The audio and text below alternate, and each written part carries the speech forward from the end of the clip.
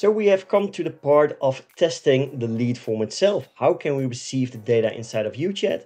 And this is a really easy way for testing lead forms. And you can go towards developers.facebook.com slash tools slash lead ads testing. Also put a link down in the video description. Also show it on screen so you can just go there yourself.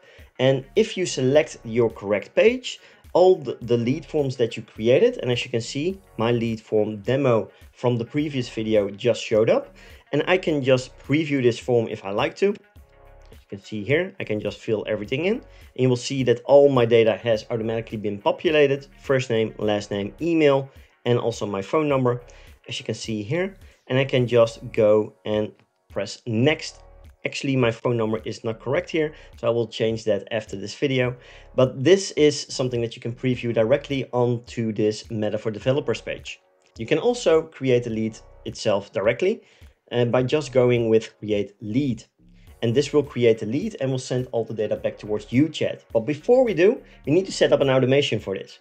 So let's go and head over into UChat. I just created a flow called Facebook Lead Gen, as you can see here.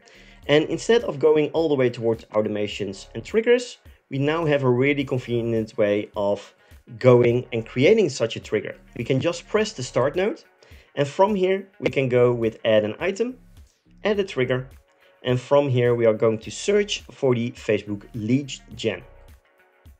We're going to enable this by pressing the enable and then we can save the data that we get back from Meta inside of custom fields. So we have the webhook payload, which contains all the data. We can save that towards a custom field, and I have a custom field called Facebook lead gen data. And we can also map the individual lead gen ID and the lead form ID. So let's just map that towards the custom fields that I set up. Go. And then lead form ID. You can also implement certain filters if you like to, if you want to exclude certain uh, people pressing the lead forms, signing up for the lead forms, and you want to exclude them from the automation inside your UChat uh, chatbot, that is also possible. But I will leave this blank for now. You can also add a note for this trigger to have a little bit more of a context what this trigger does. But for now, let's just press save. And now we have the Facebook lead gen trigger enabled on this um, on this flow directly, right? Next part is, soon as this has been triggered, we need to fetch the user's details. So the way to do that, we are go first going to preview the preload preview data. And we are just going to do that by outputting the entire payload. So we are going with uh, gen. So let's go lead gen and data. What's this one? So let's go with just saving everything and just output this because we want to test this data and we need to set up our automation on this. So we need to have some sample data in coming in. So since I set up the admin to go towards my Facebook profile, my messenger profile, I should receive all the data there as soon as I press the button create lead. So let's take a look and see if this works. So let's say create a lead and your lead has been sent. To create a new lead, please delete this one. So let's head over towards my Facebook Messenger profile to see if I received the payload. So as you can see, I received my payload. I just went into the live chat, just as easy. And you will see that we have the created time, we have the lead gen, we have the page ID, and we also have the form ID. So we can base our automations on this. So if we say we are going to grab the lead gen ID for an example purpose, and we go back towards the lead gen flow.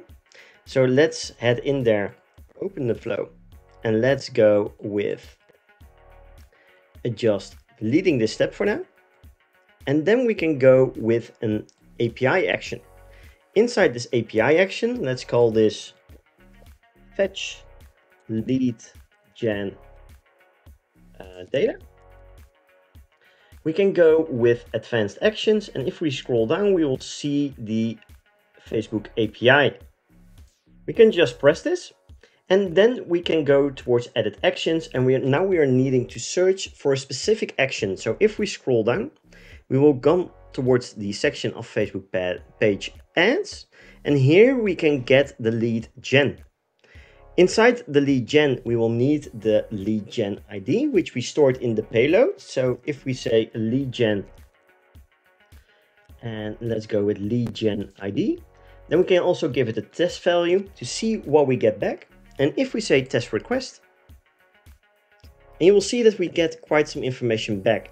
And it might be a little bit gibberish, but if we just unfold the values on each individual node, so if we go with the first name, you will see that this is a test lead dummy for data first name because I just tested it as such. Normally this will require you to get the actual name of the user and this will also be test lead data for last name. This will be the last name. You will have the email and we will have the phone number. You can map all of these individual items. So if we say we want to map the first first name value, then we can map that directly towards the first name system field if you like to, or to your own custom field, right? So that is something that you could do. So you could also say we are going with a lead gen, and then let's say first underscore name to just map this towards a specific section. We can do the same for last name. So don't forget to press add to let it show up on the bottom. We can do the same for last name. So let's say lead gen, then last name. So let's go with text and press add. Then we can go with the email value. So let's go again for lead gen. And then let's say email. Let's call this text. There we go. And then we also have the phone number, right? So we can map this towards a lead gen and let's say phone. We can call this a number field. There we go. Press add. And now we have mapped all the data of this specific uh, lead. You can also map the time if you like to. So if we scroll down, you will also see the created time, which you can directly map towards the user, towards a user field, and then export all the data towards a Google Sheet, for example, if you so wish to. I will just leave it for as is for now. And then press save because I have all the information that I need. And from this point, we are able to do a lot of automations. So in the next video, we will show you how you can send a WhatsApp message template towards this new lead.